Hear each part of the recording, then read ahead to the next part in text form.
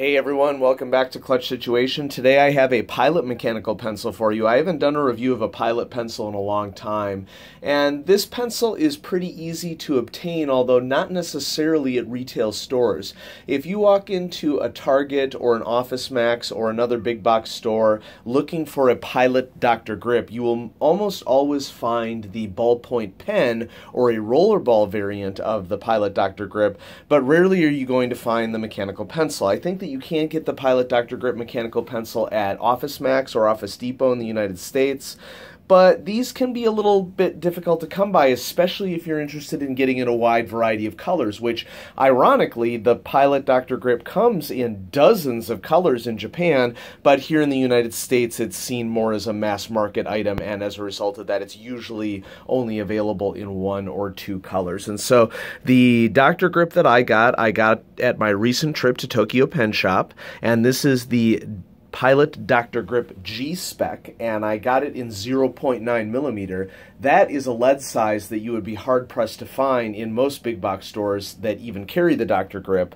Uh, I had not seen a Dr. Grip 0.9 millimeter until perusing Tokyo Pen Shop's website, and then of course when I visited the brick and mortar store, that was something that I had requested specifically for Kimberly to pull for me so that I could check it out myself because this pencil has a reputation of being one of those ergonomically designed mechanical pencils. And so that's really what I want us to focus on for this review. What makes this pencil different from other mechanical pencils out there? And really, it's marketed as, and it very much is, the ergonomics. And so let's go on a little tour of the pencil. So many of these Dr. Grip pencils have a clear exterior body. Not all of them do, but many of them do. This one does. We have a pocket clip here here. The key feature of this pencil is the grip, which I would define, it seems like a silicone rubber to me. It does have a little bit of give to it. I've spent a couple of weeks writing with this at school, grading with it. I specifically got it in 0.9 millimeter because I found that writing feedback on a science, on assignments for my students, I'm able to do much better with my handwriting. Uh, with a thicker lead size, and I usually revert, re excuse me, I usually reserve a separate section of the paper specifically for comments. So it doesn't really matter what color that I write in. And so pencil works just as well for pen. And since I love mechanical pencils, that's what I do.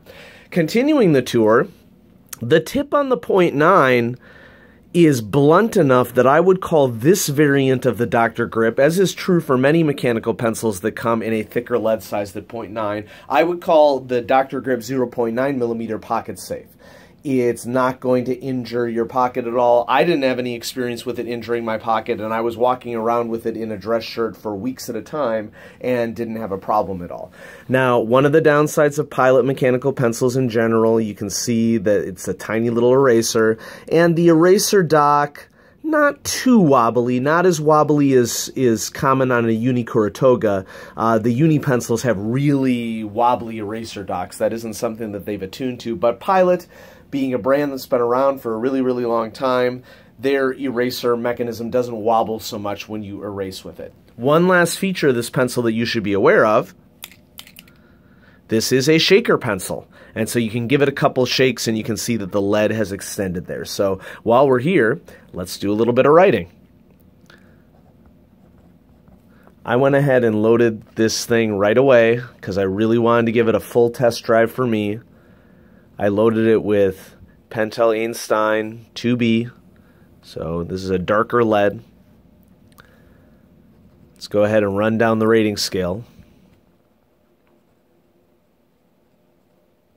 Writing experience.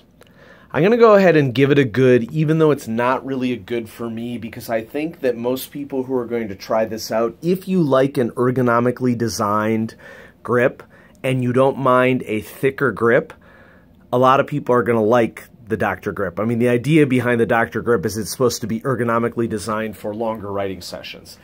I don't prefer thicker grips. But in writing this for many weeks, I found that it was very comfortable for me to write with. So for me, the shape of the grip and the fact that it is made of that silicone rubber did make a difference for me, despite the fact that I don't like thicker grips. And so I'm going to rate it a good on my writing experience for, for my rating scale. Um, personally, Your mileage will vary. Okay. Um, normally, I would not have as thick of a pencil as this, but I found that it was okay. Quality. We're gonna give it an okay plus. I mean, it's it's plastic. Okay. The one thing that it does have going for it in the quality department is it does ha have a brass clutch and uh, school's about to be finished for the year and so when school is out i'm going to uh, make another science oriented video one that i've done quite a bit of research on and that is what is it scientifically and engineering wise that makes a brass clutch better than a plastic cut clutch. And I've I've known about it. I just needed to organize my thoughts into what's going to be a coherent video. So that's something to look forward to in the channel. And so that is something that the Dr. Grip does have going for it as that brass clutch.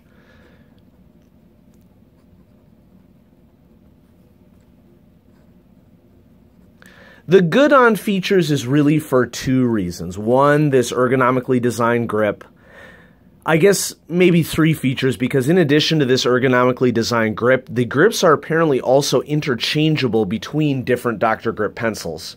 And so if you go to Tokyo Pen Shop, which has one of the best selections of Dr. Grip pencils that I've seen online, they have dozens of Dr. Grip pencils in not only different colors but also in different models. And one of the key overarching features for many of them is that the grips are interchangeable. They don't all have this clear silicone grips. Some of them have uh, colored grips, and so that could be something that you could interchange between pencils. So uh, it also has the shaker. And so with those things combined together, I feel like I could upgrade it from what a base pencil from B I'm gonna uh, would be. I'm gonna go ahead and give it a good on that. Cost, pretty reasonable for what you get. Costs on this one is moderate. For me, it was 10 USD at Tokyo Pen Shop. And that is definitely a fair price for a pencil of this making. You might be able to save a little money on Amazon, but I'm going to tell you right now by doing that, you're going to risk getting a non genuine version of the product. I know for a fact that this version came straight from Japan. Uh, Kimberly and Frank ordered it from there, and so you know that you're getting a genuine product. And so that's an argument for maybe paying just a tiny bit more for a small shop. Um, so this pencil has a lot going for it, and I and I do really like it a lot. The grip feels good to me. It has that brass clutch. It has that wide variety of color variants and interchangeable grips. There are some cons that I do want to tell you a little bit about because if I'm going to make a video on the channel about a mechanical pencil, I want to make sure that everybody is informed of things for you to watch out for if you're making a decision about this. So in using the shaker mechanism, so not only uh, any pencil that has a shaker mechanism usually will also have a knock system on top so that you can click and the lead will extend, as you can see right there. Um, I found that in using the shaker mechanism over a couple weeks that you really got to slam the thing hard in order to get it to be effective all the time. In other words, I'm not so sure that the shaker mechanism is always effective at all times. Like I, if I give it some light shakes, you can see there's hardly anything coming out. Okay, and, and maybe that's an appropriate design feature because if you're walking around with this, you don't want to extend lead. Now, if you give it a harder shake, okay, you'll get some lead. Um, I don't know what it's like to be a student in Japan or someone in an office environment. And I don't know if the a dull roar of shaking pencils is a thing in Japan. Um, I could see here in the United States how that would get really annoying, especially in a school setting. Uh, you're probably inviting some teachers commenting on the shaky nature of your pencil. Um, it wouldn't bother me in my class, but you know, obviously, I can't speak for for all teachers. Um, I, I, just want students to learn, and so I'm willing to, uh, so long as it isn't disrupting the learning of other students, allow things like that. Um, other things uh, that you should be aware of is that smaller diameter models of lead are not going to be pocket safe. I got 0.9 millimeter, a much thicker lead size, so I can carry this thing around in my pocket and it isn't a problem for me. But the Dr. Grip does come in a variety of different lead sizes from 0.3 all the way up to 0.9. So for a 0.3, 0.5, even 0.7 pencil, that's not going to be pocket safe. You're not going to be able to stick it in your pocket. Um, the pocket clip plastic, pretty flimsy. I don't expect to attach this to anything other than my pocket just to have it sitting there. I would not expect it to clip it to paper.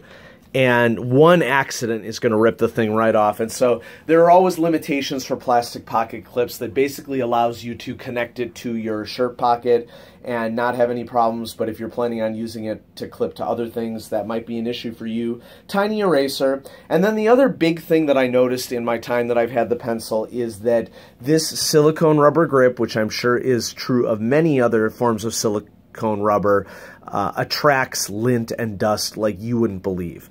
I'm going to try to bring this closer up to the camera to see if we can see it.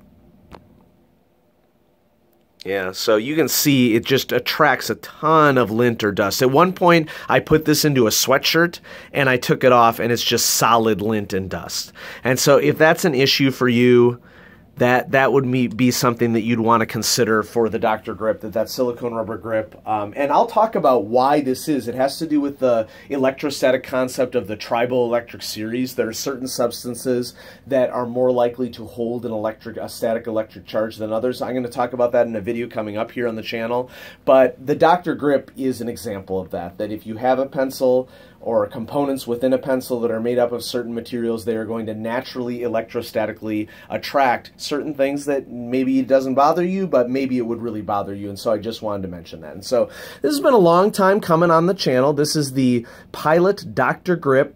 This model is called the G-Spec and I got mine in 0.9 millimeter. And so, you know, go check it out. They have a wide variety uh, available at Tokyo Pen Shop for you to purchase, and it's a great pencil. It's a great uh, balance is what I would say for a pencil that it's not super cheap like what you would find for most economy pencils in a big box store, but you can save a little bit of money on it as compared to some of the fancier mechanical pencils that are out there, some in the 16 to $18 range. And so whatever floats your boat. And so I hope you enjoyed this video. I hope you'll check out the Pilot Dr. Grip if it suits your taste. And thanks for watching. Feel free to like or subscribe to the channel. Remember, folks, I'm doing this for me, but if we can share our hobby, that's great. Uh, go ahead and feel free to post some comments or questions in the comment section below, and we'll keep up the discussion.